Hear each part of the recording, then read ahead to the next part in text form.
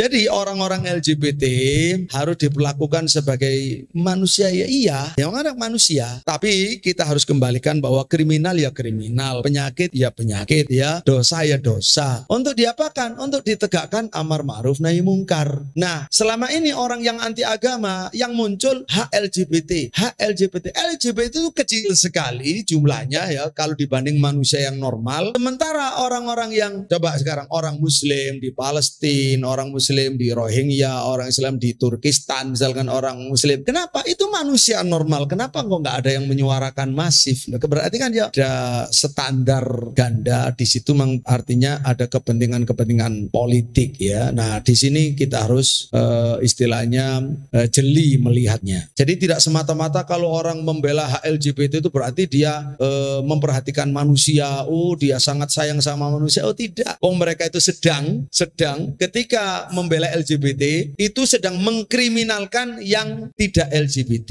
Ketika mereka sudah berkuasa, mereka bisa mengusir seperti atau mengancam mengusir seperti kaum Sodom akan mengusir Nabi Lut dan yang lainnya karena dianggap sok suci kok nggak mau sodomi dan seterusnya. Jadi e, mereka itu nunggu waktu saja. Kalau mereka kuasa, yang mereka akan mengkriminalkan yang tidak LGBT. Jadi harusnya bagaimana? Ya, jadi LGBT perlu diterangkan bahwa itu penyakit dan seterusnya. Oh, dari segi agama, psikologi dan seterusnya atau kasus-kasus ya atau sejarah, fakta-fakta sejarah. Kemudian juga dijelaskan bahwa ada solusinya. Ya ada. Gimana nggak ada solusinya? Semua ada. Solusinya adalah kembali kepada kodratnya. Jadi kalau mengatakan eh, seksual itu banyak gitu, eh, macamnya, beragamnya, oh enggak. Ya gender itu ya jenis kelamin ya laki perempuan ya sudah laki perempuan itu ya dua itu.